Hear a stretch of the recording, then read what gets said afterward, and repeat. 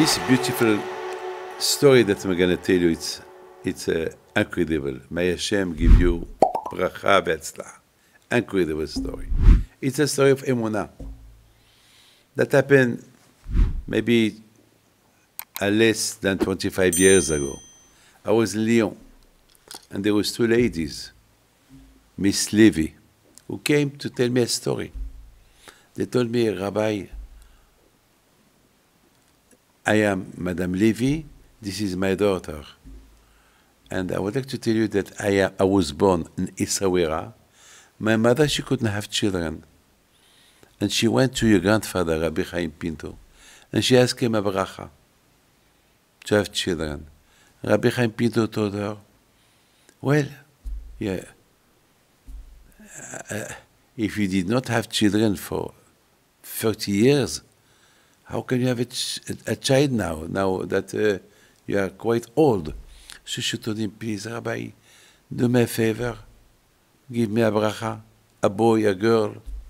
So Rabbi Chaim Pinto said, a boy, I don't know, but a girl, why not? So I pray for you that Hashem will give you a baby, a baby girl. And may Hashem protect your baby girl, and may Hashem protect her daughter. So the ladies told me that her mother, she did not understand. She asked Rabbi Chaim Pinto, what do you mean may Hashem protect my daughter and her daughter? So Rabbi Chaim Pinto said, I cannot tell you.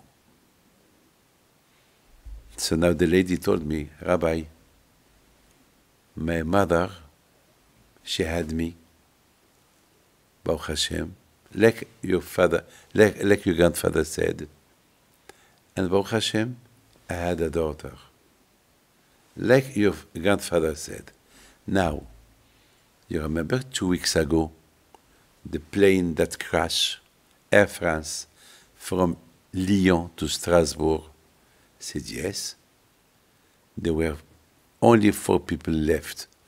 70 people died in that crash, and only four people remained alive me and my daughter and two others. Exactly what your grandfather said. He, he told my mother, I pray that you will have a baby girl. May Hashem protect her and protect her daughter. She told me, Rabbi, can you imagine your grandfather? He saw so far. He saw me being in the plane, and he saw my daughter, my daughter as well, being in the plane 60 years before I was born. And 30 years and 60 years be- before I was born, he saw this. Can you imagine, Rabbi? Well, my friend, this is the, the, the strength of the tzaddikim. The tzaddikim, HaKadosh Baruch give them wisdom. He give them prophecy because they were nice to people. May Hashem give you bracha ve'atzlaha and bri'ut. And as you know, Rabbi Chaim Pinto alav shalom, his quality was what? Tzedakah, chesed. You do chesed, you do tzedakah. So Hu protects you. Thank you.